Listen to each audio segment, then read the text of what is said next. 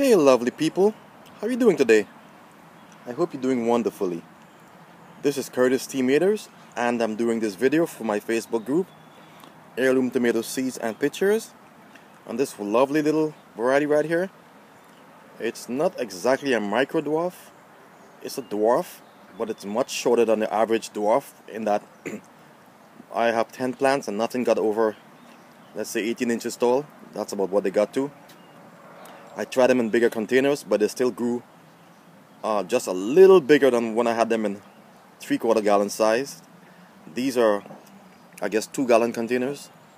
And the first time I grew them, I grew them in, in quarter, uh, three quarter gallon. And they just got a little bit smaller than these. So I would think that I, ideally, I would think that maybe one gallon, two gallons probably is fine too.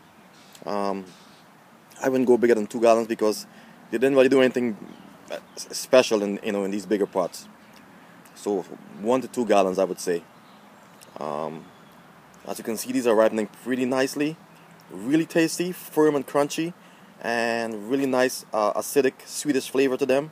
This is a this is a really nice tomato, and these you know uh, they they've been grown in mm, not the highest temperatures. Like some days in the greenhouse there was no heat and it was it stayed 45 in there for all for two days in a row, three days. Then it would get a little hot again, and so on and so on. And so these came through the, the cooler weather and produced these tomatoes, and they're just now starting to produce. I, I would say they have a bit of an indeterminate habit, uh, in that they just they just keep going and going. So I would take it that they're an indeterminate variety. They're not a they're not a semi dwarf or semi sorry they're not a, they're not a semi determinate variety.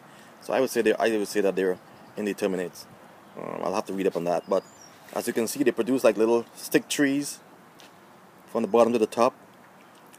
And I had to exercise a lot of control just to be able to leave these on the plants so I can do this video. But I really wanted to eat some of them, which I will do now once the video is done. Uh, I, I've been eating a few, but not many. But some of these are going to get eaten. The fruit is crunchy and nice, nice, nice flavor. A really nice salad tomato. Plants are plants are reasonably prolific and they keep growing so you know you will get fruits all through this all through the season. And um, one to two gallon pots make sure and water them really well. Rugose leaves as you can see nice and curled and nice looking plants. Really nice looking plants. I have 10 plants uh, in the greenhouse right now. Well five because five are out here with me. And they're all ripening like this. They're all starting to ripen in the same very same way.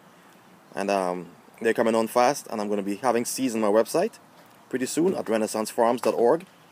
You want to try this. This is Curly Kaley. Really nice tomato. And thanks for watching this video. Once again, this is Curly Kaley. I would say they were when you when it first started, they were a little bit slow to start, meaning that the plants take a little while to get going. But once they get going, they, they get into their thing pretty pretty rapidly. So if you do get these, have patience with them in the beginning, but they will reward you. You will have plenty, plenty rewards all season long. This is a must try. Curly Kaley. Thanks for watching. I appreciate and love you, and I shall talk to you soon. Bye bye.